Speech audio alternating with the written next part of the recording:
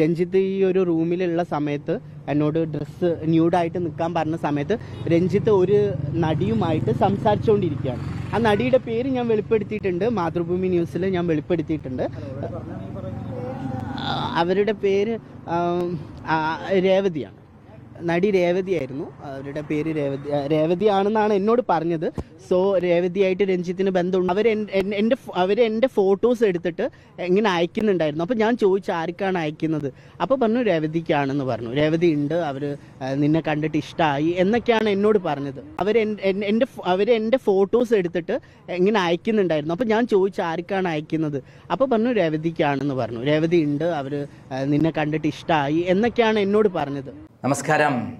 കേരളത്തിലെ പല സ്റ്റേഷനുകളിലായിട്ട് ഈ നടന്മാർക്കെതിരെ കേസ് ഫയൽ ചെയ്തുകൊണ്ടിരിക്കുകയാണ്. അതിൽ ഏറ്റവും പ്രധാനം Thiruvananthapuram cantonment police station file ചെയ്ത കേസ് തന്നെയാണ്. കണ്ടോൺമെന്റ് പോലീസ് സ്റ്റേഷനിൽ ഒരു നടി കൊടുത്ത പരാതിയിൽ സിദ്ദിഖ് മസ്കറ്റ് ഹോട്ടലിൽ വെച്ച് അവരെ ബലാത്സംഗം ചെയ്തു എന്നാണ്. ബലാത്സംഗം ചെയ്യുന്ന രീതി പോലും അതിൽ വിവരിക്കുന്നുണ്ട്. അവരുടെ ഡ്രസ്സുകൾ വലിച്ചൂരി പറച്ചു കളഞ്ഞു അണ്ടർ ഗാർമെന്റ് വലിച്ചൂരി താഴേക്ക് ഇറക്കിയ ശേഷമാണ് ക്രൂരമായി രണ്ട് കൈകളും പിടിച്ചു വെച്ച് ചുണ്ടുകൾ കടിച്ചു പിടിച്ച് അവർ അവരുടെ ശരീരത്തെ മുഴുവനായി കശക്കിയത് എന്ന് അവർ പരാതിയിൽ പറയുന്നു. അതിക്രൂരമായ ബലാത്സംഗമായിരുന്നു. സിദ്ദിഖ് ആദ്യം പറ ഇതിൽ നിന്ന് രക്ഷപ്പെടാൻ വേണ്ടി തിരിച്ച് കേസ് കൊടുക്കാനൊക്കെ പരായച്ചെങ്കിലും പക്ഷേ അതിനു മുമ്പായി തന്നെ അവർ കയ്യിൽ വെച്ച തെളിവുകൾ സഹിതം പോലീസ് സ്റ്റേഷനിൽ എത്തുകയായിരുന്നു പരാതി കൊടുത്തു. ഇപ്പോൾ അവരുടെ മൊഴിയെടുത്തു. പുതിയ അന്വേഷണ ടീം ശക്തമായ രൂപത്തിൽ അറസ്റ്റ് ചെയ്യാവുന്ന രൂപത്തിലാണ് കാര്യങ്ങൾ ഉള്ളത്. അദ്ദേഹത്തിനെതിരെ പതിനഞ്ച് വർഷം വരെ തടവ് ശിക്ഷ കിട്ടാവുന്ന പോക്സോ കേസ് അടക്കമുണ്ടാകുമെന്നുള്ളതാണ് വരുന്നത്. അതായത് മിനിമം ഒരു തേർട്ടി ഇയേഴ്സ് അദ്ദേഹത്തിന് ശിക്ഷയുണ്ടാവും. കാരണം ആ പെൺകുട്ടി കോടതിയിൽ കോടതിയിൽ സീക്രട്ട് മൊഴി കൊടുത്തു കഴിഞ്ഞാൽ അതിൽ പതിനാറാം വയസ്സിന് പതിനെട്ടാം വയസ്സിന് മുമ്പാണ് എന്നുള്ള കാര്യം കൃത്യമായി വന്നു കഴിഞ്ഞാൽ പോക്സോ കേസും അതിൽ വരും. ആദ്യഘട്ടത്തിൽ എഫ്ഐആർ രജിസ്റ്റർ ചെയ്തപ്പോൾ ആദ്യം കൊടുത്ത പരാതിയുടെ കാര്യത്തിലായിരുന്നു. പിന്നീട് അവരുടെ വയസ്സ് കൃത്യമായി രേഖപ്പെടുത്തി പോക്സോ കേസും വരുമ്പോൾ തീർച്ചയായും സിദ്ദിഖ് അപകടത്തിലാണ്. അവ അദ്ദേഹം ഹൈക്കോടതിയിൽ ജാമ്യത്തിന് നൽകിയിട്ടുണ്ട്. അത് തള്ളുമോ എന്ന് നമുക്കറിയില്ല. രണ്ടാമത്തെ ആൾ എന്ന് പറയുന്നത് മുകേഷ് തന്നെയാണ്. മുകേഷിനെ മരട് പോലീസ് സ്റ്റേഷനാണ് കേസെടുത്തിരിക്കുന്നത്. ക്രൂരമായി ബലാത്സംഗം ചെയ്തു ശ്രമിച്ചു എന്നുള്ള പരാതി തന്നെയാണ്. റേപ്പ് കേസ് തന്നെയാണ് മുകേഷിനെതിരെയുള്ള മുകേഷിനെതിരെ ഇപ്പം രണ്ട് പരാതികളാണ് വരുന്നത്. ഒരു സ്റ്റേഷനിൽ കൂടി ഇന്ന് പരാതി വരും എന്നുള്ളതാണ് മനസ്സിലാക്കുന്നത്. അദ്ദേഹമായിരിക്കാണ് സ്കോറിങ്ങിൽ മുന്നിൽ നിൽക്കുന്നത്. ഇപ്പോൾ അദ്ദേഹത്തിനെതിരെ നാല് പരാതികളുമായി മുന്നിൽ നിൽക്കുകയാണ്. ജയസൂരിക്കെതിരെ കണ്ടോൺമെന്റ് പോലീസ് സ്റ്റേഷനാണ് കേസെടുത്തിരിക്കുന്നത്. അതായത് തിരുവനന്തപുരം കണ്ടോൺമെന്റ് പോലീസ് സ്റ്റേഷനിൽ സെക്രട്ടേറിയറ്റിനുള്ളിൽ ഷൂട്ടിംഗ് നടക്കുന്നതിനിടയിൽ കയറി പിടിച്ചു എന്നാണ്. അതായത് ഭരണ സ്ഥിരാ കേന്ദ്രത്തിൽ പോലും കയറി ജയസൂര്യ ഒരു പെൺകുട്ടിയെ പിന്നിൽ നിന്ന് പോയി കെട്ടിപ്പിടിച്ച് ഉമ്മ വെച്ചു എന്നുള്ളതാണ് അദ്ദേഹത്തിനെതിരെയുള്ള കേസ്. എന്തായാലും ജയസൂര്യയും ഇപ്പോൾ ഒളിവിലാണ് എന്നുള്ള വിവരമാണ് പുറത്തു വരുന്നത് എറണാകുളം നോർത്ത് പോലീസ് സ്റ്റേഷനാണ് ഇടവേള ബാബുവിനെ പറ്റിയുള്ളത്. മണിയംപിള്ള രാജുവിനെ ഫോർട്ട് കൊച്ചി പോലീസ് സ്റ്റേഷനിലാണ് എടുത്തിരിക്കുന്നത്.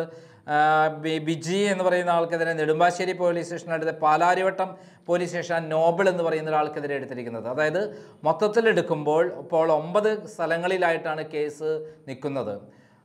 ഇതിൽ ഒരു ഏറ്റവും പുതിയൊരു വിവരം വന്നിരിക്കുന്നത് നമുക്ക് ആദ്യം തന്നെ സിദ്ദിഖിനെതിരെ പറഞ്ഞ ആ പെൺകുട്ടിയുടെ ഒരു സംസാരം കേൾക്കാം. അവർ പറയുന്ന കാര്യങ്ങൾ. ഈ ജനറൽ സെക്രട്ടറിയായ ഇദ്ദേഹം എന്താണ് അഡ്ജസ്റ്റ്മെന്റിന് എന്നെ വിളിച്ചു എന്നാണ് പലയിടത്തും പറയുന്നത്. പക്ഷെ the thing is that he raped me. He raped me.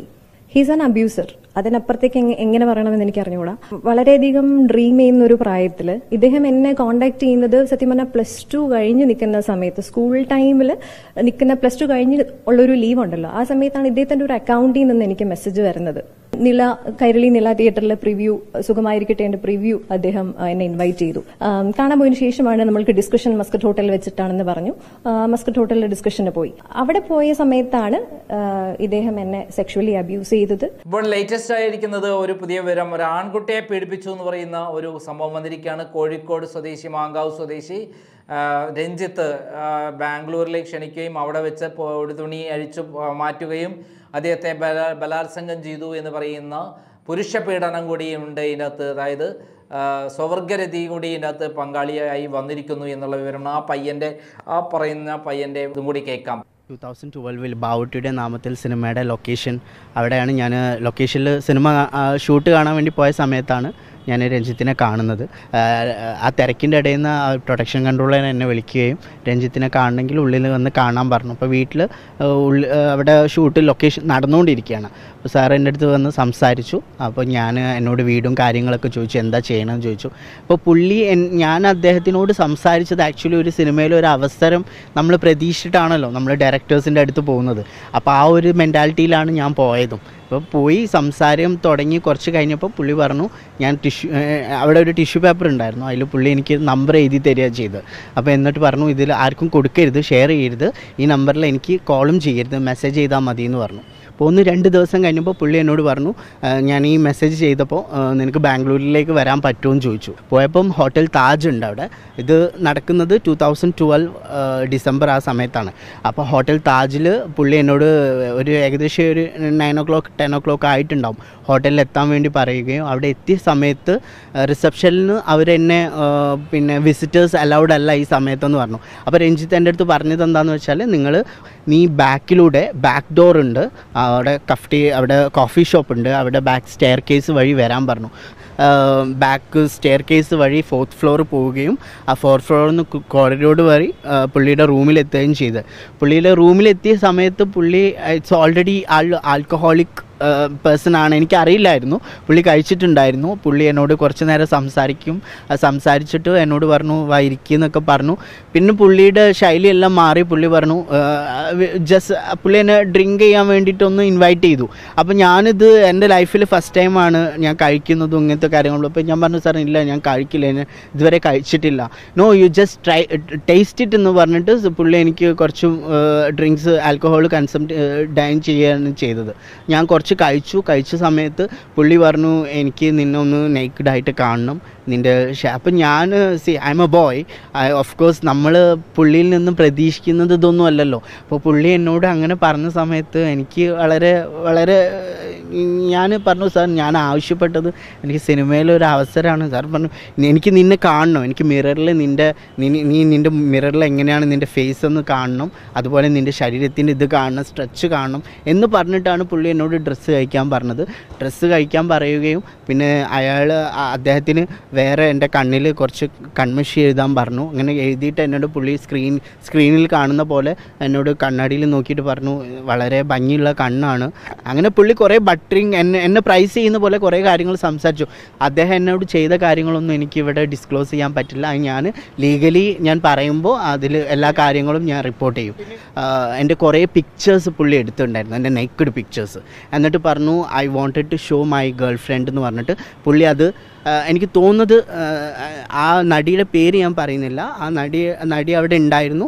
അപ്പോൾ ഹോട്ടലിൽ ഉണ്ടായിരുന്നില്ല. പക്ഷേ എന്നോട് പറഞ്ഞ് ആ പിന്നെ താജിൽ ഉണ്ടായിരുന്നു ആൾ ഉണ്ടായിരുന്നു എന്നാണ് പറഞ്ഞത് എനിക്ക് കുറച്ച് പിക്ചേഴ്സ് കാണിച്ചു കൊടുക്കണം എന്നൊക്കെ പറഞ്ഞപ്പോൾ ഞാൻ ഞാനും അപ്പോൾ കരുതിയത് എന്താണെന്ന് വെച്ചാൽ കുഡ് ബി ആളുടെ മനസ്സിൽ എന്തെങ്കിലും ഒരു സിനിമ ഏതെങ്കിലും ഒരു കഥയുടെ രൂപമായിട്ട് കാരണം ഒരു തിരക്കഥാകൃത്തുവാടെ ആണല്ലോ. അപ്പോൾ എന്നൊക്കെ കരുതിയിട്ടാണ് ഞാൻ അതിനൊക്കെ വില്ലിംഗ് ആയി നിന്നത്. ഇന്ന് കൂടുതൽ കേസുകൾ വരും എന്നുള്ള കാര്യത്തിൽ ശരി ബാബുരാജിനെതിരെ കൊടുത്ത കേസ് ആലുവ പോലീസ് സ്റ്റേഷനായിരിക്കും കൈകാര്യം ചെയ്യും. ആലുവ പോലീസ് സ്റ്റേഷനിൽ ഇന്ന് ബിജ ബാബുരാജിനെതിരെ കേസെടുക്കും. അതിനുശേഷം പെൺകുട്ടി ഗുജറാത്തിലാണ് ഗുജറാത്തിൽ നിന്ന് വന്ന ശേഷം മൊഴിയെടുക്കും എന്നുള്ള കാര്യത്തിൽ സംശയമില്ല. എന്തായാലും കേരളം ആകെ ഇളകി മറിഞ്ഞുകൊണ്ടിരിക്കുന്നു. അമ്മ പൊട്ടിത്തകർന്നുകൊണ്ടിരിക്കുന്നു. സിനിമാ മേഖല ഇല്ലാതായിക്കൊണ്ടിരിക്കുന്നു. ഈ സന്ദർഭത്തിൽ എങ്ങനെയായിരിക്കും ഈ മലയാള സിനിമയുടെ ഭാവി? എന്ന് നമുക്കറിയില്ല. വളരെ ഗുരുതരമായ പ്രശ്നങ്ങളിലൂടെയാണ് കേരളം കടന്നു പോകുന്നത് ഇങ്ങനെ പോയാൽ അധികാലം സിനിമയുണ്ടാവില്ല സിനിമാ പ്രവർത്തനവും ഉണ്ടാവില്ല. മാത്രമല്ല സിനിമാ മേഖലയിലേക്ക് പെൺകുട്ടികളെ അയക്കുന്നത് ഇനി വളരെ ശ്രദ്ധിച്ചിട്ടായിരിക്കും. വലിയ കുടുംബങ്ങളിലെ പെൺകുട്ടികളാണ് സിനിമാ ഭ്രാന്തുമായി രംഗത്തിറങ്ങ അവരെയെല്ലാം ഭാവി എന്തായിത്തീരുമെന്നുള്ളതിന്റെ ഏറ്റവും പ്രധാനപ്പെട്ട തെളിവുകളാണ് പുറത്തു വരുന്നത്. എന്തായാലും നമുക്കറിയാം സിനിമാ ലോകം എന്ന് പറയുന്നത് ഒരു വ്യഭിചാര കേന്ദ്രം കൂടിയാണെന്നുള്ളതാണ് ഇപ്പോൾ തെളിവുകളിലൂടെ പുറത്തു വരുന്നത്. ഇത് ഓരോ ദിവസവും കൂടിക്കൂടി വരുന്നു. ഏറ്റവും പുതിയ പ്രധാനപ്പെട്ട വിശേഷം എന്ന് പറയുന്നത് മമ്മൂട്ടി മോഹൻലാലിനെതിരെയുള്ള കേസുകൾ വന്നാൽ പരാതികൾ വന്നാൽ സപ്രസ് ചെയ്ത് വെക്കണം എന്നാൽ പൂഴ്ത്തി വെക്കണം എന്നുള്ള ഒരു നിർദ്ദേശം മുകളിൽ നിന്ന് വന്നിട്ടുണ്ട്. പിണറായി വിജയൻ തന്നെയായിരിക്കും മമ്മൂട്ടിക്കെതിരെ കേസെടുത്താൽ മന്ത്രിസഭ തന്നെ തകരും എന്നുള്ള കാര്യത്തിൽ സംശയമില്ല.